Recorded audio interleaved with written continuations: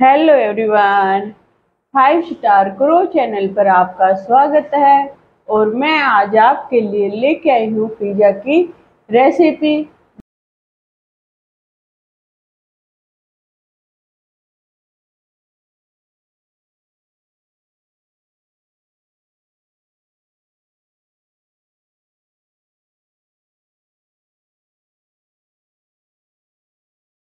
ये मैंने लिया है मैदा, तीन कप नाप के लूँगी।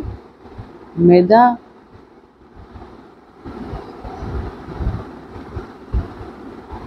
बेकिंग पाउडर, मीठा सोडा, नमक, बूरा,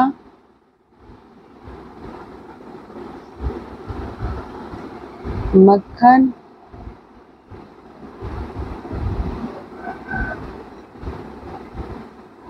और जितना मैंने मैदा लिया था, उतना ही मैं लूँगी दही सेम क्वांटिटी में। और इसको अच्छी तरह से करेंगे मिक्स मिक्स करते टाइम इस बात का रखेंगे ध्यान कि हम जितना समय इसको मिक्स करने में देंगे, ये उतना ही सॉफ्ट और मुलायम हमारा पेस्ट तैयार होगा और पिज़्ज़ा बनाने में हमें आसानी रहेगी और पिज़्ज़ा भी जालीदार बनेगा। तो इसको अच्छी तरह से करते हैं मिक्स। ये देख, बिल्कुल सॉफ्ट हो चुका है। बेज को मैंने पहले काट के रख दिया है और ये देखिए, ना ही ज़्यादा टाइट है और ना ही ज़्यादा लिक्विड है। ये मैंने ली है वेज आप अपनी पसंद की जो भी आप खाना पसंद करते हो, वो वेज ले सकते हो। गैस को किया ऑन फ्राई व्हील को मैंने चढ़ा दिया है। और आज हम बनाएँगे छोटे छोटे पिज़्ज़ा, जिसको काटने की भी ज़रूरत नहीं पड़ेगी। चम्मच की सहायता से पेस्ट को हमने डाल दिया। और इसकी जो छोटी छोटी शेप बन के तैयार होगी, बच्चों को आएगी बहुत अधिक पसंद, क्योंकि उनको एक पिज़्ज़ा पूरा मिल जाएगा और ना ही वेस्ट जाएगा और पूरी तरह से बच्चे इसका यूज़ कर पाएँगे। मैंने काफ़ी सोचने समझने के बाद ये डिसाइड किया कि छोटे छोटे पिज़्ज़ा कैसे बनाए जाए। तो इसलिए मैंने ये फ्राई व्हील लिया और इस पे हम तैयार करेंगे छोटे छोटे पिज़्ज़ा और पिज़्ज़ा बनाते टाइम गैस को रखेंगे स्लो और ये देखिए ये हो गए हैं तैयार और कितनी आसानी से ये निकल गए हैं। तेल की, के यूज़ करने से जो ये हमने छोटे छोटे पिज़्ज़ा लिए थे, ये नीचे से अच्छी तरह से पक गए हैं और हम दोनों तरफ़ से इसको पकाएँगे पिज़्ज़ा को, जिससे उसका टेस्ट और अधिक बन जाएगा। तो ये हम एक बार और पिज़्ज़ा बनाएँगे। और उधर हमारे वो पिज़्ज़ा दूसरी तरफ़ से हो जाएँगे तैयार। तो ये देखिए, इसको अच्छी तरह से फैला देंगे और ये पेस्ट डालते टाइम इस बात का रखेंगे ध्यान कि हम थोड़ा कम ही पेस्ट इसमें डालें, क्योंकि फूलने के बाद ये फैल जाता है और बाहर निकल जाता है।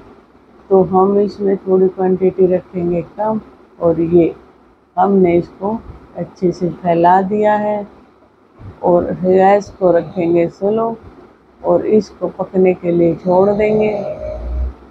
आठ पिज़्ज़ा हमारे बन के एक साथ हो जाएँगे तैयार। ये देखिए, ये पक चुके हैं और इस पे हम लगाएँगे अब पिज़्ज़ा सॉस ये टिक्की की तरह बन के हुए हैं, तैयार। दिखने में ऐसे लग रहे हैं छोटे छोटे टिक्की की तरह। और ये मैंने ली है पिज़्ज़ा चटनी। पिज़्ज़ा चटनी को हम लगाएँगे इस पर और इसको अच्छे से देंगे फैला। पिज़्ज़ा सॉस आप तैयार करना चाहें। तो दूसरी वीडियो देख सकते हो। ये अच्छी तरह से डिस्क्रिप्शन में आपको मिल जाएगा पिज़्ज़ा रेसिपी का लिंक और ये मैंने डाल दिया इसके ऊपर चीज़ सबसे मेन इसमें चीज़ हम, मैं इसमें चीज़ कम डालूँगी क्योंकि चीज़ थोड़ा कम ही यूज़ करेंगे। ज़्यादा फैली फैली चीज़। और ये मैंने रख हैं कौन, शिमला मिर्च, जो भी सब्ज़ियाँ हमारे पास है, उन्हीं सब्जियों से हम इसको अच्छी तरह से लगा देंगे जो खाने में पसंद हो। पनीर के टुकड़े, लाल शिमला मिर्च, टमाटर, प्याज, ये सारी चीज़ें मैंने इकट्ठी कर ली है और उसी से हम इसको पिज़्ज़ा को करेंगे तैयार।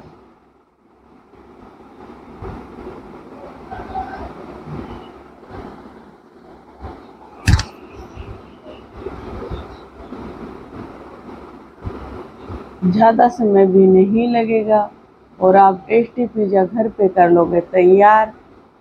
और इस पे थोड़ी सी सॉस ऊपर से और डाल देंगे।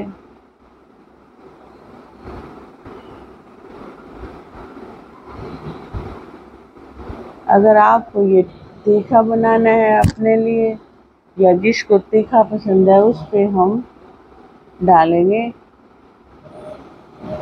लाल चिली पाउडर, जो हाथ से कुटा हुआ होता है। और ये देखिए कितनी आसानी से ये पलट जा रहे हैं। ये भी थोड़ा सा ज़्यादा ही पक गए हैं, क्योंकि मैं उधर लग गई थी उसको पकाने के लिए। पिज़्ज़ा पे सब्ज़ी लगाने के लिए, लेकिन दोस्तों कसम से अगर जब हम इसको बना के खाएँगे तो हम बाहर से लाया हुआ पिज़्ज़ा भूल जाएँगे। इस तरह से आप करिए तैयार। और ये मैंने थोड़ा थोड़ा लगा दिया इस पर मक्खन, ताकि ये नीचे से अच्छी तरह से हो जाए फ्राई। इतने सॉफ्ट और इतने टेस्टी बन के हुए थे, तैयार। जब हमने इसको यूज़ किया तो ये देखिए पिज़्ज़ा चटनी मेरी एकदम गिर गई थी, निकल गई थी। ज़्यादा दबाने से तो ये हमारे हो गया। पिज़्ज़ा तैयार।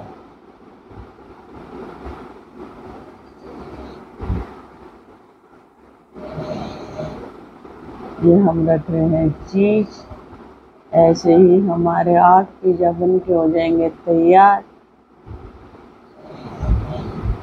दस मिनट, पंद्रह मिनट ही ये लेंगे, पंद्रह दस मिनट में, दस पंद्रह मिनट में ये पक्के हो जाएँगे तैयार। ये देखिए, और उधर हमारे पिज़्ज़ा बन के हो गए तैयार, इसको हम रखेंगे ढक्कन लगा के, ताकि हमारी सब्ज़ी अच्छे से हो जाए फ्राई। अब जो पेस्ट हमारे पास बचा था, उसका हम करेंगे एक बड़ा पिज़्ज़ा तैयार। ये देखिए, हमें ना तो रोटी बनाने की ज़रूरत है और ना ही कुछ ना बेलने की। बिल्कुल कम समय में हम पिज़्ज़ा करेंगे तैयार। ये देखिए तो आप पेस्ट बना के पिज़्ज़ा बना सकते हो, उसको रेडीमेड रोटी लाने की या उस रोटी की तरह उसको आटे को गूंदने की ज़रूरत नहीं पड़ेगी। आप एक बार इस तरह से ट्राई करें और खा के देखें कि कितनी सॉफ्ट और कितना टेस्टी बन के हमारा पिज़्ज़ा होता है। तैयार? तो आज मैंने एक साथ नौ पिज़्ज़ा किए हैं। तैयार? ये हमारा बड़ा पिज़्ज़ा है, जिसको हम पका रहे हैं। तो ये देखें। इसको हम निकाल लिया है प्लेट पे और हल्का सा हम डाल देंगे इस पर तेल। आप चाहे तो बिना तेल के भी इसको बना सकते हो, लेकिन जो हम तेल से बनाएँगे तो ये एकदम ऐसे पक्के हो जाएगा तैयार, क्योंकि हम इसको ओवन में नहीं बनाएँगे। ये है हमारा तवा पिज़्ज़ा, जो हम आसानी से अपने तवे पे तैयार कर सकते हैं, ना ही हमें ओवन की ज़रूरत पड़ेगी और ना ही किसी माइक्रोवेव की। तो ये मैंने लगाया दिया पिज़्ज़ा, सॉस, और ये लगा दिया है मैंने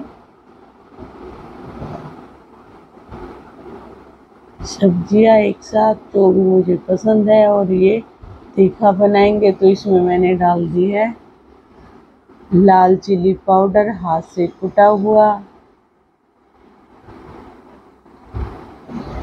और इसी के ऊपर अब हम लगा देंगे थोड़ी सी चीज़। चीज़ का मैंने बहुत ही कम यूज़ किया है, क्योंकि चार्जर चीज़ जो चिपचिपी हो जाती है मुझे कम पसंद है तो इसलिए मैं यहाँ पे चीज़ का कम यूज़ कर रही हूँ। आपको ज़्यादा पसंद है तो आप ज़्यादा चीज़ डाल सकते हो।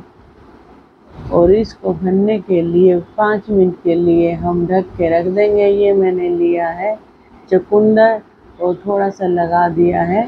पिज़्ज़ा हमारा पिज़्ज़ा भुंदा हो गया है तैयार। और अगर आपको ये पिज़्ज़ा पसंद आए तो लाइक करना चैनल को सब्सक्राइब करना और कुछ कमी हो तो आप ज़रूर बताना कि इसमें क्या कमी है मैं और क्या सुधार कर सकती हूँ। लेकिन वीडियो को लाइक ज़रूर करना। आपके एक लाइक से मेरी वीडियो थोड़ी सी आगे चली जाएगी और अभी इस टाइम पे मुझे आप लोगों को सपोर्ट की ज़रूरत है तो आप मुझे सपोर्ट करिए ताकि मैं अपनी ये रेसिपी आगे शेयर कर